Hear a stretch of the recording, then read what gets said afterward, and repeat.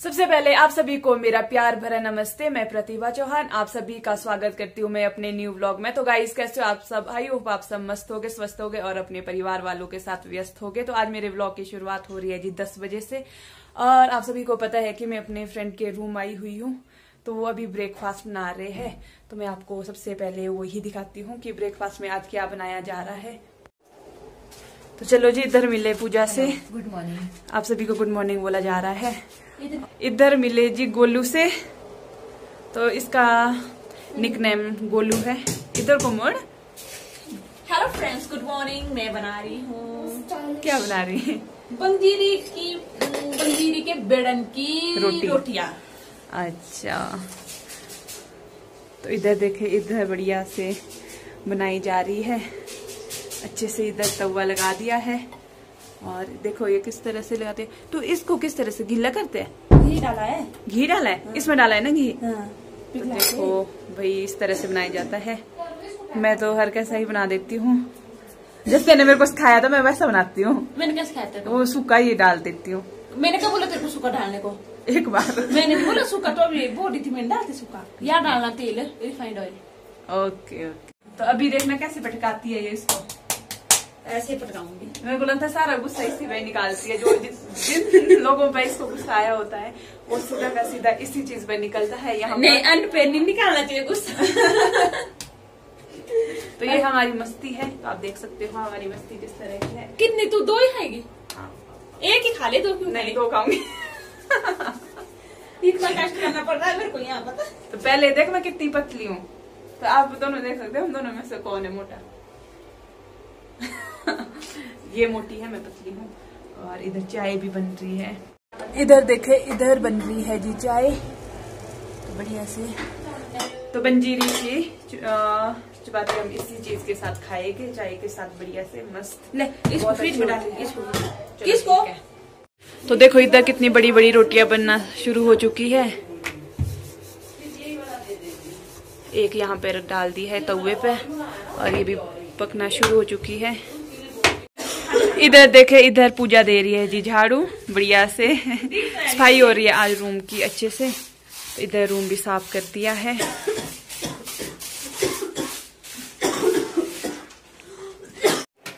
इधर देखे, इधर रोटी में आपको दिख रहा होगा, बंजीरी दिख रही है जो इसके अंदर बेड़ा डाला हुआ है, वो दिख रहा है। और, वाह भाई, वहाँ पे फूलने भी लग गई अब। ये है पूजा का टैलेंट ये ऐसा बोलती है कि मैं बिल्कुल भी आट, वो नहीं लगाती है हमारे उसके लिए बुरन बोला जाता है। तुम्हारे क्या बोलते हैं? है ना? तो बिल्कुल भी नहीं लगाती है और मेरे में तो वही पता नहीं कितना लगाती हूँ। तभी आप देख सकते हो इधर कितनी अच्छे से फूलेगी ये। फूल जाएगी। ये है पूजा का टैलेंट। आप सब वो कर सकते हो उससे संपर्क कर सकते हो रोटी बनाने के लिए। है ना? बोलेगी अभी मुझे हमें आती है रोटी बनानी नहीं ये बहुत अच्छा खाना बनाती है। थैंक्स डियर फ्रेंड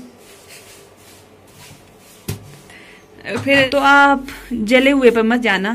तो जली हुई देखो कितनी है पर खाने को ये ही बहुत बढ़िया वाली होती है।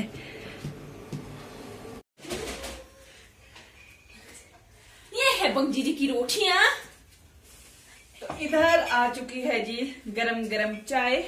कैसी लगी फिर हमारी चाय? बोलिए कैमरामैन कुछ नहीं बोलेंगे फ्रेंड्स क्योंकि ये बिल्कुल लाचार है बोलने के लिए। ये कैमरे में आना बिल्कुल भी पसंद नहीं करते हैं इसीलिए बोलने के इच्छुक नहीं है बिल्कुल लाचार है। और आज हमें भूख से पेट अंदर ही चले गया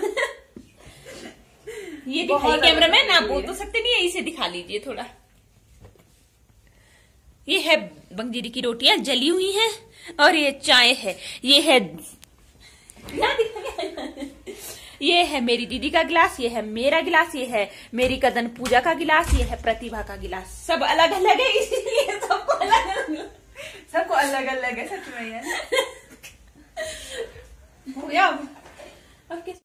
तो गाइस हम हो चुके हैं जी इधर तैयार और हम जा रहे हैं संजौली तक। इसका संजौली में काम है और मैं जा रही हूँ अपने रूम और इधर पूजा भी तैयार हो रही है ये भी जा रहे हैं अभी घूमने। अन्ना डेल। अन्ना डेल तो सब हाँ, अपनी अपनी तैयारियाँ कर रहे हैं। हैं पूजा को कोई ढंग से तैयार होने ही नहीं दे रहा है। बेचारी कभी बाहर जा रही है कभी यहाँ के लिए आ रही है तो सब अपने अपने बिज़ी है। तो मैं तो इधर हो ही चुकी हूँ तैयार। अब निकलते हैं जी थोड़ी देर के बाद हम भी। घर की ओर घर की ओर नहीं सॉरी रूम की ओर। घर तो मेरा आपको पता है कितना दूर है। तो इधर से मैं थोड़ा आपको इधर का व्यू भी दिखाती हूँ। यहाँ से मंदिर दिखता है। और तो यहाँ से थोड़ा बहुत दिखता है जो जो दिखता है वो बता ही देती हूँ मैं आपको। तो यहाँ सामने के लिए बिल्डिंग है तो इधर से सिर्फ़ इतना ही दिख रहा है। मौसम भी आप देख सकते हो कितना ज़्यादा खराब हो चुका है। और इधर देखें तो यहाँ से कुछ इस तरह का व्यू दिखता है। और इधर से मंदिर भी दिखता है आपको शायद दिखेगा थोड़ा थोड़ा दिख रहा है जो ऊपर। जो यहाँ जैसे दिख रहा है ये मंदिर है शिव मंदिर। तो यहाँ से सिर्फ़ इतना ही व्यू दिखता है। तो अब चलते हैं जी हम भी अंदर की ओर। तो आपने व्यू तो देख ही लिया होगा सिर्फ़ इतना सा व्यू दिखता है।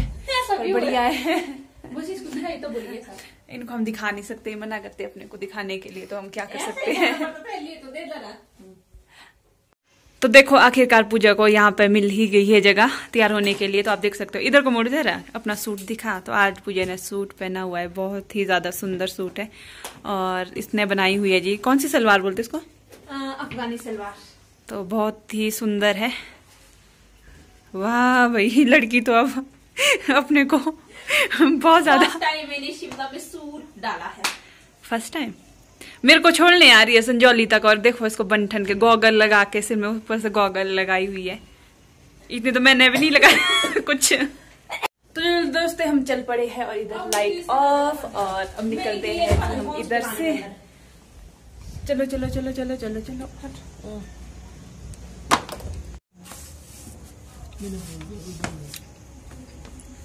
ना ये बड़े भी नहीं लग रहे। आगे दरवाज़ा इतना ही होता है ना बंद लॉक आगे को दरवाज़ा। देख सकते हो कितना बड़ा लॉक है। ओए आगे का दरवाज़ा उतना ही बंद होता है ना थोड़ा सा प्रतिभा लगा तो दोस्तों मैं भी पहुँच चुकी हूँ जी रूम अभी अभी पहुँच रही हूँ तो अब करती हूँ जी मैं थोड़ा पहले तो कपड़े वगैरह चेंज करती हूँ उसके बाद करती हूँ खाना बनाने की तैयारी।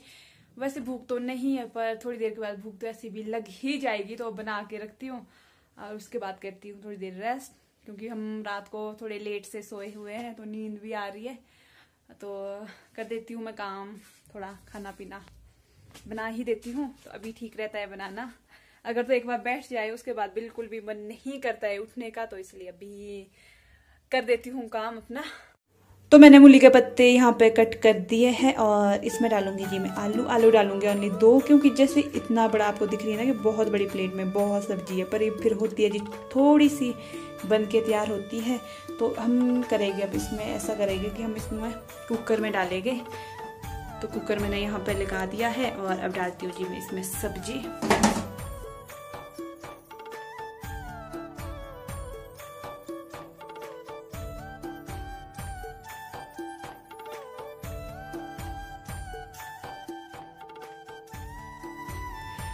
इधर कट कर दिए है। जी, मैंने आलू और मैं इसमें डालूँगी। जी, आलू। और मैंने ये इसमें आलू डाल दिए हैं और अब दूँगी। जी, मैं इसमें अब डालूँगी मैं पानी और इसमें स्टीम आने दूँगी। तो जो आलू है, ये भी पकने चाहिए और जो ये सब्ज़ी है, ये भी मतलब इसे रस निकलता है तो वो भी निकलना चाहिए। तो मैंने पानी तो पहले इंडक्शन पर गर्म कर दिया था तो मैं इसको डालूँगी पूरा ताकि आलू पके। तो मैंने कर दिया है जी कुकर को बंद और गैस पे ऑन कर दी है इसके नीचे। तो अब देंगे हम इसको पकने। तो दोस्तों, अभी मैंने इसमें, वैसे तो अगर तो आपने मूली के पत्ते ही बनाने होंगे, तब तो आप एक ही सिटी आने दें इसमें। अभी जैसे मैंने इसमें आलू डाले हैं, तब मैं तब तक ही इसको चूल्हे, इसके नीचे चूल्हा जला के रखूँगी। जब तक मुझे ऐसा ना लगे कि आलू पक चुके हैं तो तब तक मैं ऐसे ही रहने दूँगी। तो मैं इसमें आने दूँगी तीन या चार सीटी, तब तक ऐसा होता है कि आलू भी पक जाएँगे और ये भी हो जाएगी। और कुकर में यहाँ पे तीन सीटियाँ आ चुकी हैं और अब लास्ट का वेट कर रही हूँ। आजा भाई, जल्दी जल्दी आजा।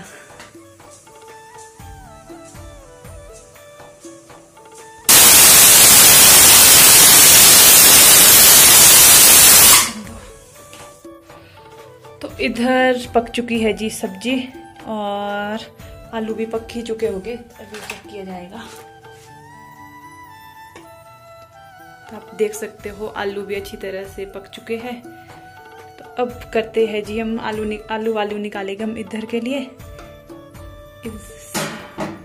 ताकि जो इसमें बाहर से छिलका ये निकाल सके हम। तो इसीलिए तो ढूंढ तो इधर देखो, आलू से मैंने छिलके निकाल दिए हैं और अब इस सब्ज़ी का करेंगे। इसमें पानी होता है, जिस जो हमने निचोड़ना है अभी।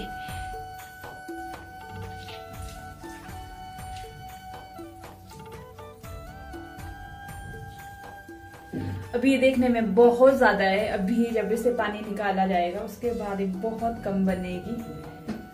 बनेगी तो फिर बहुत ज़्यादा कम ही बनेगी। ये देख सकते हो आप कितना पानी निकल रहा है। क्योंकि सब्ज़ी से बहुत ज़्यादा पानी निकलता है। तो मैंने कर दी है जी, इसके देखो कितने छोटे छोटे से पीस बन चुके हैं। तो मैं इसको और कट करती हूँ। बढ़िया से, ताकि बहुत अच्छी बने खाने के लिए स्वादिष्ट। ये तो मैं भी ट्राई फ़र्स्ट टाइम कर रही हूँ, बाकी ज़्यादा मुझे पता ही नहीं है। चलो, वैसे ही जैसे मैं अभी फ़र्स्ट बार ट्राई कर वैसे आप में से भी कोई ट्राई करें। अगर आप सब ट्राई करोगे तो मेरी तरह ही बनेगा। अभी आप सब्ज़ी देख सकते हो, ये कितनी सी है, सिर्फ़ इतनी सी है तो अगर इसमें आलू डालेंगे, तब इसलिए मैं इसमें आलू डाल रही हूँ ताकि ये बहुत सी बने थोड़ी।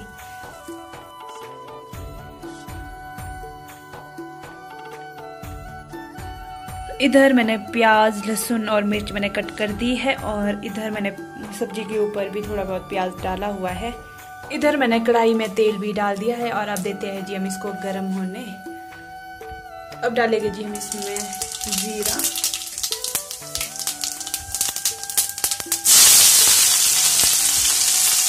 प्याज लहसुन और मिर्ची मैंने डाल दी है और अब देते हैं जी इसको थोड़ी देर ब्राउन होने। तो ये प्याज भी और लहसुन ब्राउन हो चुका है और अब डाल देती हम इसमें हल्दी और नमक। और डालेंगे इसमें धनिया।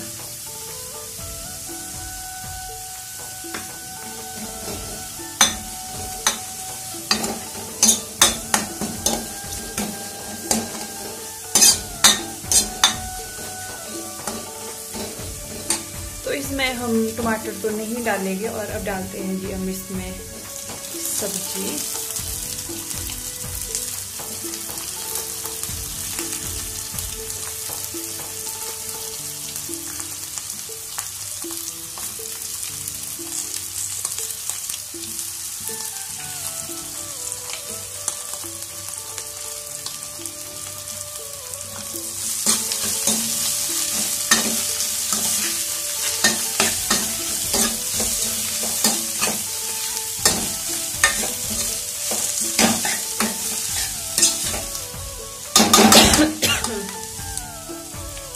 चलो जी, ये सब्ज़ी भी वैसे बन के तैयार ही हो चुकी है। अब इसको देंगे हम दो मिनट के लिए ऐसे ही रहने धीमी आँच पर।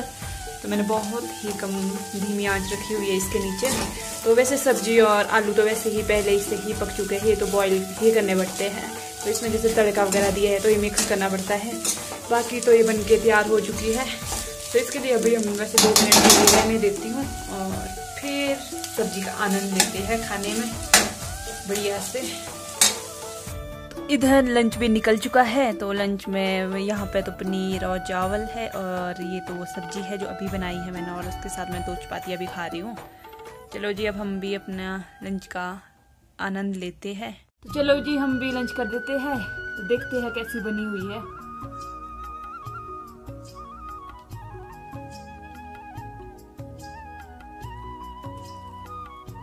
ठीक ही बनी हुई है मतलब। उतनी ज़्यादा खास भी नहीं है।